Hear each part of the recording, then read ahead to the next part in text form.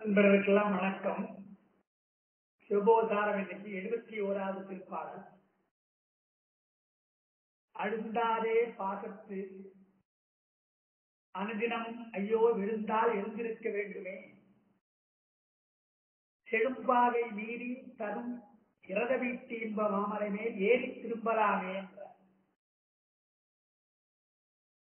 அதாவது கருவி கரணங்களை அதனாலே அனுபவிக்கின்ற இன்பம் இருக்கிறதே. அதைவிட மேம்பட்ட இன்பம் என்றார். இறைவனுடைய இன்பம். நாம் அனுபவிக்கின்ற கருவி காரணங்களால் இருப்பதை விட சிறந்த இன்பம் என்றார். அதனால் செழும் பாகை மீறி பாகைன்னா பகுதியின் அர்த்தம். செழும் பாகை மீறி நமக்கு இன்று புலன்களால் வருகின்ற அந்த பகுதி இன்பங்கள்.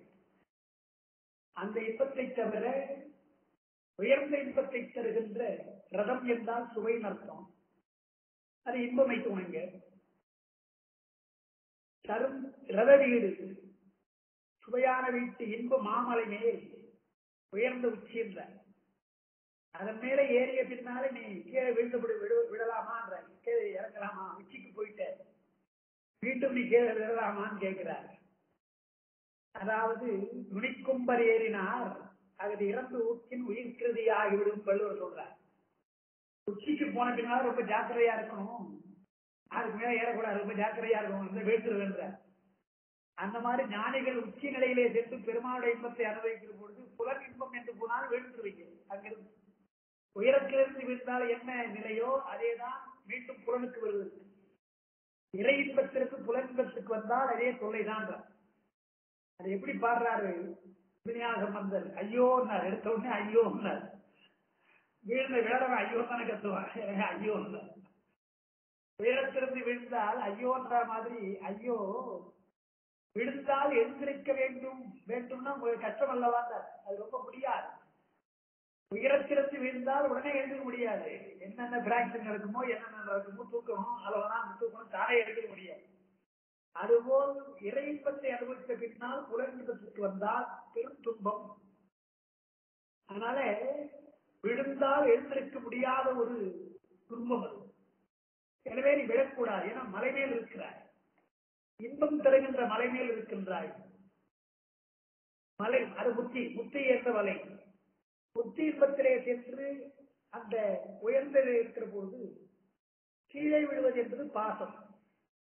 மலை என்பது மேடு பாசம் என்பது பள்ளம். மேட்டிலே இருந்து பள்ளத்திலே விழுவது போல உனக்கு பாசத்திலே விழுந்தால் அது இறங்கலாமா விடலாமா விடக்கூடாதுன்னு அர்த்தம். விடக்கூடாது எனவே அழுந்தாதே பாசத்து அனுதினமும் பாசத்து அழுந்தாதே அழுந்தக்கூடாதுன்னு அர்த்தம். அழுந்தாது ஒழிகின்ற பாசத்தில் விழக்கூடாது. விழுந்தால் எழ முடியாது. அழுந்தாதே பாசத்து அனுதினமும். ஐயோ விழுந்தால் எழுந்திருக்க வேண்டும்.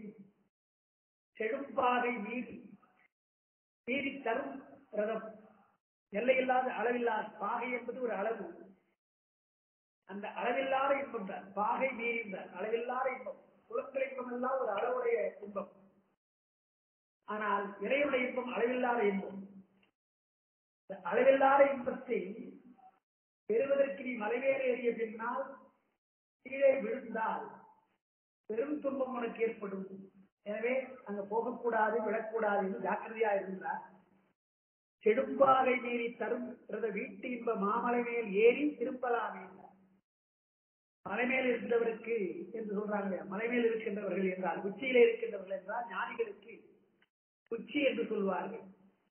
அதுபோல உச்சி நிலையில இருக்கின்ற ஞானிகள் பள்ளத்திலே விடமாட்டார்கள் என்றால் உயர்ந்த இன்பத்தை பெறுகின்றவர்கள் கீழான இன்பத்தை பெறமாட்டார்கள் கீழான இன்பத்தை அவள் அறிய மாட்டார்கள் என்றுதான் சொல்றார். தாய்மாருடைய பாட்டு ஒன்று எனக்கு நிறைய வந்தது. எவ்வளவுதான் நாம் படித்தாலும் கற்றாலும் பாசம் நமக்கு நீங்குவது கிடையாது என்று ஒரு பாட்டு பாடுற எத்தனை விதங்கள் தான் கற்கினும் கேட்கினும் என் இதயமும் ஒடுக்க இல்லை யான் அகந்தை தான் எல்லளவும் மாறையில்லை. யாதினும் அபிமானம் எல்லாருக்கும் ஆசை. யாதினும் அபிமானம் என் சித்த விஜயை குடிகொண்டது. ஈகையோடு இரக்கம் என் ஜென்மத்தும் நான் அறிகிறேன். சீலமொடு தவ விரதம் ஒரு கனவிலாயினும் தரிசனம் செய்து வருகிறேன். பொய்த்த மொழி அல்லால் மருந்துக்கும் மெய்மொழி புகற்றிடேன் பிறர் கேட்கவே போதிப்பது அல்லாது சும்மா இருந்து அருள் பொருந்திடா பேதினானே எவ்வளவுதான் படித்தாலும் கேட்டாலும் எனக்கு எதையும் ஒடுங்கல. அந்த பாசம் நீக்கம் எனக்கு இல்லை. யான் என்னும் அகத்தை எளிதளவும் மாற இல்லை. யாதிலும் அபிமானம் என்பது ஆசை அது மாயை. யான் என்ற அகந்தை ஆடவம் யாதிலும் அபிமானம் என்பது மாயை. மாயாதாரியங்களில் இருக்கு மயக்கம். சித்தமிசை குடிகொண்டது நல்ல குணங்களான ஈகையோடு இரக்கம் என் ஜென்மத்தும் அறிகிறேன். என் ஜென்மத்தில் அது கிடையவே கிடையாது. கொடுக்கிறது கிடையாது. இறக்கப்படுவதும் கிடையாது. சீலமுடு தவ விரதம் ஒரு கனவிலாயும் தரிசனம் செய்யவில்லை. சீலம் என்றால் என்ன தெரியாது? தவம் எதுவும் தெரியாது பொய்த்த மொழிதான் பேசுகிறேன். பொய் தான் பேசுறேன். பொய்த்த மொழி அல்லால் மருந்துக்கும் மெய்மொழி புகழ்ந்திடேன் ஆனால் பிறர் கேட்கவே போதிக்கின்றேன். எல்லாவற்றையும் சீலம் வேண்டும் தவம் வேண்டும் ஈகை வேண்டும் இறக்க வேண்டும் எல்லாம் போதிக்கின்றேன். பிறர் கேட்கவே போதிப்பதல்லாது சும்மா இருந்து அருள் பொருந்திடா பேரினா சும்மா இருந்தாலே உங்களுடைய அருள் வரும். அந்த சும்மா இருக்கின்ற நிலை எனக்கு வரவில்லையே. அத்தனை குணக்கேடு கண்டதா கேட்டதா அவரிபதி உண்டோ? என்ன மாதிரி குணக்கேடு யாராவது இருக்கிறார்களா? கண்டதாக சொல்ல முடியுமா பார்த்ததாக சொல்ல முடியுமா கேட்டதாக சொல்ல முடியுமா? அவரிபதி உண்டோ? சொலாய் அந்த பகிரண்டமும் அடங்க ஒரு நிறைவாகிய ஆனந்தமான பரமே என்று. ரொம்ப அழகான பாட்டு தாய்மாருடைய பாட்டெல்லாம். யாதினும் அகந்தைதான் எல்லளவும் மாறவில்லை யாதிலும் அபிமானம் என் சித்த விசை கொடுக்கின்றது. அதுதான் என்று சொல்ற அழுந்தாரே பாசத்து அனுதினம். நாள்தோறும் பாசத்திலே அழுந்தினால் யான் என்னும் அகந்தை யாதினும் அபிமானம் என்ற சித்த விசை குடிகொண்டது. அது விழுந்தால் எழுந்திருக்க முடியாது. அதாவது யானைக்கும் அடிசரக்கும் சொல்லுவாங்க பொதுவா. யானைக்கும் அடிசரக்கும் ஒரு பழமொழி சொல்லுவாங்க. அது என்ன சொல்லுவாங்க? விளக்கம் கொடுப்பாங்க. மற்ற விலங்குகள் எல்லாம் அடிசரிக்கினால எழுந்துடும். மாடா இருந்தாலும் சரி அல்லது மான் எதுவா இருந்தாலும் சரி அடிசறுக்கினால் எழுந்துடும். ஆனால் யானை அடிசரிக்கினால் அது அதிக அதிகமா அடிசறுக்காது அது யானைக்கு அடிசரிக்கினால் என்ன? அது எழுந்திருக்க முடியாது. விழுந்து விழுந்ததுதான். அதுதான் யானைக்கு அடிசரிக்கும் சொல்றான் மற்ற விலங்குகள் எல்லாம் அடிசரிக்கினால் எழுந்து விடும் ஆனால் யானை விழுந்தால் விழுந்ததுதான். காலால் கலரில் நரியடும் கண்ணெஞ்சா வேளாண் முகத்த கழிவு என்று திருக்குறளையும் கால் புதைகின்ற அளவுக்கு உள்ள புதை சேரிலே கூட அதை மாட்டிக்கொண்டால் வர முடியாது. அதால வர முடியாது. பேரறிஞர் அண்ணா ஒன்று சொல்லுவார். தமிழரை பற்றி ஒரு சொல்ற பொழுது தமிழர்கள் யானை போலன்னு வருது. தமிழர்கள் யானை போலன்னு சொல்லிட்டு என்ன விளக்கம் கொடுப்பாருன்னா நாம் எப்பொழுதுமே பழமையே பேசிக் கொண்டிருக்கிறோம். புதிய கருத்துக்களையோ புதிய முயற்சியோ செய்வது கிடையாது. எப்பொழுதுமே பழம்பெருமையே பேசுவோம் பாரதியார் சொல்வது போல மறைவாக நமக்குள்ளே பழங்கதைகள் சொல்வதில் ஒரு மகிமை இல்லை என்றார் அதுபோல பழைய பெருமை தான் பேசவே தவிர இன்றைக்கு நாம் முயற்சி செய்து முன்னேற வேண்டும் என்று எண்ணுவது கிடையாது. நாம் யானை போலன்னு சொல்லிட்டு சொல்வார்?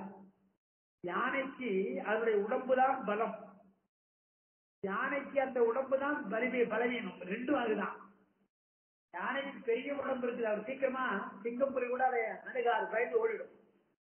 அப்படிப்பட்ட உடம்பு வலிமையுடையது அது பலம். ஆனால் இது போல சிறு சேர்க்கல குறைந்து விட்டால் எழுந்து வர முடியாது. அதுதான் பலவீனம். யானைக்கு தன் உடம்புவே உடம்புடைய வலிமையே பலம் பலவீனம் சொல்வார் அதுபோல தமிழர்களுக்கு பழம்பெருமையே பலம் தான் அதுதான் பலவீனம் சொல்வார் அதையே வச்சு கொண்டிருப்பதை தவிர புதிய கருத்து கிடையாதுன்னு சொல்வார் அதுபோல யானைக்கு மனிதருக்கு போல ஞானிகளாக இருக்கின்றவர்கள் உயர்த்தலில் இருக்கின்றவர்கள் விழுந்தால் பெரும் பாவம் பெரும் பள்ளத்திலே விழுவது போல. எனவே அழுந்தாலே பாசத்து அனுதினமும். ஐயோ விழுந்தால் எழுந்திருக்க வேண்டும். செழும்பாகை மீறி தரும் இரவு வீட்டின்ப மாமலை மேல் ஏறி திரும்பலானே ஒரு மாடியில கூட நம்ம படிக்கட்டுல ஏறிட்டு ஏதாவது ஒண்ணு மறந்துட்டு வந்துடும் கீழே வச்சுட்டு வந்துடும் மறந்துட்டு வந்துடும் எப்படா போய் கீழே இறங்கி போய் எடுக்கிறதுன்னு நினைப்போம். கஷ்டப்பட்டு மேல ஏறியாச்சு. எப்படா போய் எடுக்கிறதுன்னு யோசிக்கிறோம் இல்லையா? மாடியில ஏறினாலே இறங்குறது கஷ்டப்படுறோம். மலை மேல ஏறிட்டு கீழே விழுந்தால் மலை ஏறிட்டு கீழே விழுந்தால் எவ்வளவு கஷ்டம்? மறுபடியும் ஏறி வரணும் அது போலத்தான் சொல்றாரு. இறைவனுடைய இன்பத்தை பெற்ற பின்னாலே அது மலை மேலே ஏறியது போல. மீண்டும் உலக இன்பத்துக்கு வருது அல்லவா? அது கீழே விழுவது போல என்று ஏறி திரும்பலாமே என்றால் திரும்ப முடியாது அர்த்தம். திரும்பலாமே என்றால் முடியாது அர்த்தம். எழுந்திருக்க வேண்டும் எனவே அழுந்தாரே பாசத்து அனுதினம் ஐயோ விழுந்தால் எழுந்திருக்க வேண்டும். செடும்பாகை மீறி தரும். பிரதவிட்டு இந்த மாமலை மேல் ஏறி திரும்பலாமே என்ற பாடலை சொல்றார். அதனால் கருவிகரங்களை விட்டு இறையின்பத்தை அறிகின்ற உயிர் மீண்டும் கருவிகளுக்கு வரக்கூடாது மீண்டும் பிறப்புக்கு வரக்கூடாது. ஈடுவேற்றுக்கு செல்ல வேண்டிய முயற்சி செய்கின்ற உயிர்கள் மீண்டும் பிறக்க வேண்டும் என்று எண்ணக்கூடாது என்ற கருத்தைத்தான் பாதத்திலே அழுத்தக்கூடாது என்பதைத்தான் இங்கே சொல்கிறார். ஒரு வினை ஒரு பத்து இருந்தாலும் கூட ஒரு சிறிய பத்து இருந்தாலும் கூட அது மலவாதனை மலவாதனை தாக்கி மீண்டும் நமக்கு பிறப்பை உண்டாக்கும் என்று சொல்வதாலே பாசத்திலே அழுத்தக்கூடாது. இறைவனுடைய இன்பத்தையே எண்ண வேண்டும் என்று இந்த பாடல்ல சொல்லுகிறார் என்பதோடு நாம் இன்றைக்கு அந்த பாடலை நிறைவு செய்யலாம். அழுந்தாரே பாசத்து அனுதினமும் ஐயோ விழுந்தால் எழுந்திருக்க வேண்டுமே. கெடும்பாவை மீறி தரும் இறத வீட்டின்ப மாமலை மேல் ஏறி திரும்பலாமே என்று அந்த பாடலை குருஞான சம்பந்தர் அருமையாக பாடியிருக்கிறார் என்பது